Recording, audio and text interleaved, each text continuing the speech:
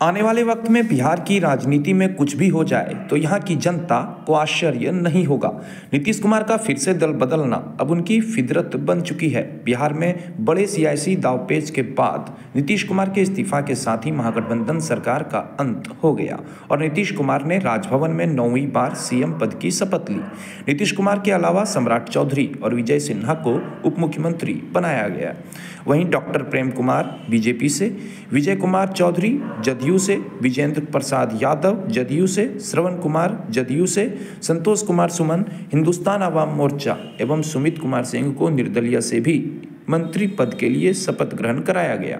वहीं इसको लेकर रविवार को भागलपुर जिला जदयू के नेताओं ने समारणालय के समीप पटेल चौक पर जश्न मनाया। जदयू जिला प्रवक्ता शिशुपाल भारती, अंजू कुशवाहा सोमराज विकास कुमार समेत काफ़ी संख्या में जदयू कार्यकर्ताओं ने नीतीश कुमार और एनडीए के समर्थन में जमकर नारेबाजी की। साथ ही एक दूसरे को मिठाई खिलाकर सरकार गठन की बधाई दी। शिशुपाल भारती ने कहा कि बिहार के विकास और जनता के हित में उनके नेता ने यह फैसला लिया है। यह न सिर्फ़ पार्टी, बल्कि बिहार के लिए भी सकारात्मक कदम है। बीच में कहीं गए और फिर सर हमारी पार्टी के लोगों को ये लग रहा था ये तय हो गया। और अब सब दिन के लिए हम लोग एक साथ रहेंगे जो शुरू से थे। और आज कुछ लोगों का हो गया। यानी हमारे अलावे आठ लोगों का हो गया है वो तो अब बाकी जो बचेंगे उसको बहुत जल्दी और काफ़ी हो जाएगा। लेकिन आज जितने लोगों का किया गया है तो आज तो आप सब जानते ही हैं तीनों पार्टी का और एक इंडिपेंडेंट लड़के का किया जा चुका है। अभी दो चीज़ हम बता देना चाहते हैं। एक तो सम्राट चौधरी जी का और दूसरा विजय कुमार सिन्हा जी का। ये दोनों को हम उप मुख्यमंत्री के रूप में मान्यता देते हैं। ये दोनों, मैंने, मैं मुख्यमंत्री हूँ और मेरे बाद दो मुख्यमंत्री रहेंगे, एक सम्राट चौधरी जी और एक विजय कुमार सिन्हा। ये दोनों उप मुख्यमंत्री रहेंगे। हम बिहार के हित में और पूरे इलाके के और बिहार के विकास के काम करते हैं। इसी काम को आगे बढ़ाएँगे। तो इसी में हम अपना लगे रहेंगे। लगातार नौवीं बार मुख्यमंत्री बनने का मौका हमारे पार्टी के राष्ट्रीय अध्यक्ष को मिला है। इसके लिए जनता दल यूनाइटेड परिवार काफ़ी खुश है और भागलपुर जिला जनता दल यू की ओर से हम लोग यहाँ पे अभी मिठाई बांटकर खुशी ज़ाहिर कर रहे हैं और भागलपुर शहरवासियों को मिठाई खिला रहे हैं। और उत्साहवर्धन हम लोग सभी साथी अपने में एक दूसरे से मिलजुल कर कर रहे हैं।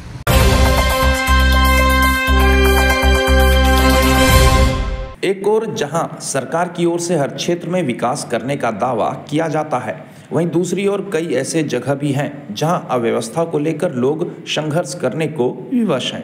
ताज़ा मामला भागलपुर रेलवे स्टेशन से जुड़ा है, जहाँ रेलवे स्टेशन पर मूलभूत सुविधाओं की कमी को देखते हुए एक व्यक्ति के द्वारा अमरण अनशन की शुरुआत कर दी गई।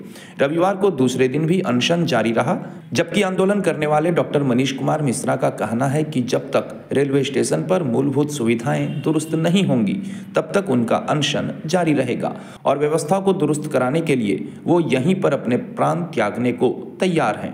उन्होंने मालदा डिवीज़न अंतर्गत भागलपुर एवं जमालपुर रेलवे स्टेशन पर शौचालय समेत अन्य कई सुविधाओं की मांग की है। उन्होंने कहा कि रेलवे के वाणिज्यकर विभाग, इंजीनियरिंग विभाग और ऑपरेटिंग विभाग मिलकर जनता का शोषण करने में लगे हैं, जबकि रेलवे के द्वारा शौचालय की निशुल्क सुविधा यात्रियों को उपलब्ध कराने के बजाय ठेकेदारों के द्वारा प्रत्येक व्यक्ति से दस रुपए अवैध तरीके से वसूला जाता है। बता दें कि यह परेशानी काफ़ी दिनों से चल रही है, लेकिन अब तक इसमें सुधार के लिए कोई प्रयास नहीं किया गया है।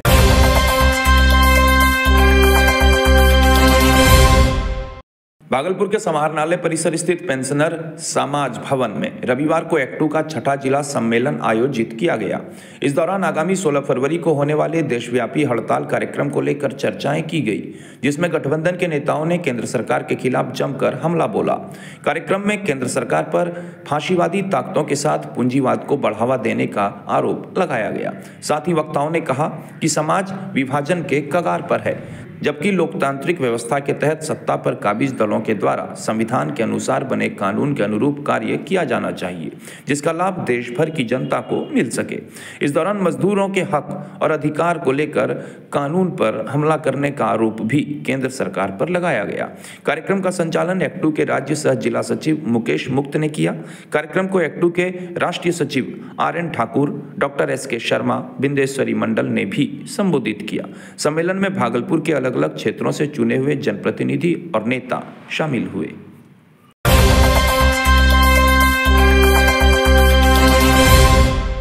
केंद्र सरकार द्वारा बिहार के पूर्व मुख्यमंत्री कर्पूरी ठाकुर को मरणोपरांत भारत रत्न से सम्मानित किए जाने पर रविवार को राष्ट्रीय लोक जनता दल भागलपुर इकाई द्वारा आभार मार्च निकाला गया, जिसमें जननायक कर्पूरी ठाकुर को भारत रत्न देने के लिए प्रधानमंत्री नरेंद्र मोदी का आभार व्यक्त किया गया। आभार मार्च घंटाघर से निकलकर स्टेशन चौक तक पहुँची। बता दें कि कर्पूरी ठाकुर दो बार बिहार के मुख्यमंत्री रहे। इसके अलावा पिछड़े वर्गों के हितों में वकालत करने के लिए वह जाने जाते थे। मुख्यमंत्री के उनके कार्यकाल में भूमि सुधार और वंचितों को सशक्त बनाने के लिए अनेकों कार्यों का क्रियान्वयन किया गया।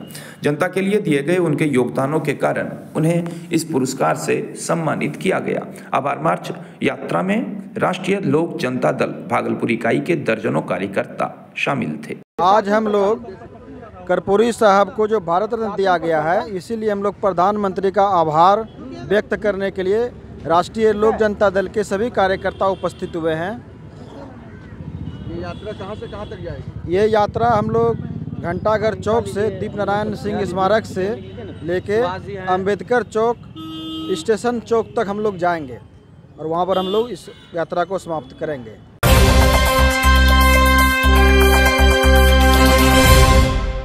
अगर आप अपने बच्चों की हकलाहट, तुतलाहट या मूक बधिरता को लेकर चिंतित हैं या बढ़ती उम्र के साथ बहरेपन की समस्या से परेशान तो चिंता छोड़िए, क्योंकि अब भागलपुर में आ गया है इन सब का समाधान। Nirala speech and hearing clinic. Audiology, speech therapy के साथ साथ विश्व स्तरीय best digital hearing aid with rechargeable and bluetooth facility. तो आज ही सुनने की जाँच कराएँ। तथा सुनने की machine लगवाएँ। Nirala speech and hearing clinic. हमारा पता है, बड़ी पोस्ट ऑफ़िस के सामने, मेट्रो मिर्ची रेस्टोरेंट तथा सेंट्रल बैंक वाले रोड में, Bhagalpur. Mobile seven zero five zero one nine double three four one. हमारी दो और भी शाखाएँ हैं। पूर्णिया में Panchvati complex, Bihar talkies road, line Bazar Purnia. और अररिया में टाउन हॉल के सामने वाले मिर्ज़ा गालिब रोड में, ए बी मेडिकल के समीप। सर दर्द, चक्कर आना, गर्दन दर्द, कमर दर्द लो बैक पेन स्पॉन्डिलाइटिस लकवा पैरालिसिस गठिया साइटिका पोलियो घुटनों का दर्द आर्थराइटिस नसों का सूखना frozen shoulder ligament cartilage sports injury spinal cord injury हाथ पैर सुनने लगना जैसी अन्य बीमारियों का इलाज करवाए।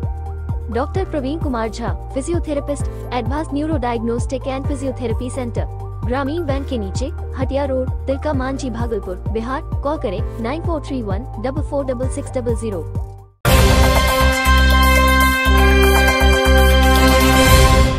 Godda के लोकप्रिय सांसद सह भाजपा के कद्दावर नेता निशिकांत दुबे का जन्मदिन। गौशाला बचाओ संघर्ष समिति के अध्यक्ष अभिजीत गुप्ता के आवास पर धूमधाम से मनाया गया। इस दौरान भागलपुर नगर निगम की महापौर डॉक्टर वसुंधरा लाल, भाजपा नेता ओम भास्कर समेत अन्य उपस्थित लोगों ने केक काटकर निशिकांत दुबे को जन्मदिन की बधाई दी। वहीं अभिजीत गुप्ता ने बताया कि उनके द्वारा बच्चों के बीच खेल सामग्री का वितरण भी किया गया। साथ ही मौजूद पत्रकारों को सम्मानित करते हुए अभिजीत गुप्ता ने कहा कि निशिकांत दुबे का जन्मभूमि भागलपुर है और उनका कर्मभूमि गोड्डा है। उनके क्षेत्र के सभी लोग निशिकांत दुबे से अत्यधिक प्रेम करते हैं, साथ ही अपने नेता को अपने दिल में बसा कर रखते हैं। यही कारण है कि हर वर्ष उनका जन्मदिन बड़े धूमधाम से मनाया जाता है। मौके पर कई गणमान्य अतिथि मौजूद रहे।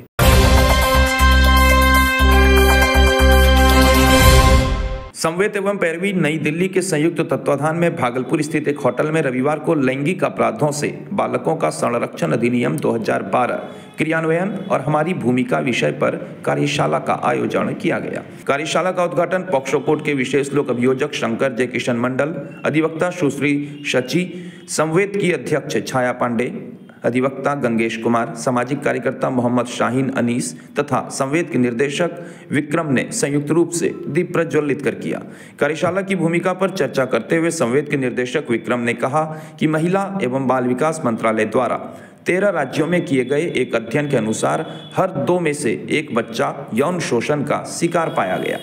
यह आंकड़ा न केवल चौंकाने वाला है, बल्कि भयभीत करने वाला भी है। बच्चों के साथ लैंगिक अपराधों की भयावकता का अंदाज इसी बात से लगाया जा सकता है कि इनमें से मात्र पाँच फ़ीसदी ही पुलिस थाने तक पहुँचते हैं।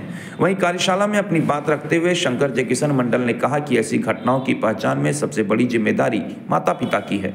उन्होंने कहा कि इस कानून का दायरा इतना व्यापक है कि स्कूल एवं अन्य संस्थानों के प्रमुख अगर ऐसी घटनाओं से बच्चों के संरक्षण में अपनी समुचित भूमिका और ज़िम्मेदारी नहीं निभा पाते तो वो भी अपराध की श्रेणी में आते हैं।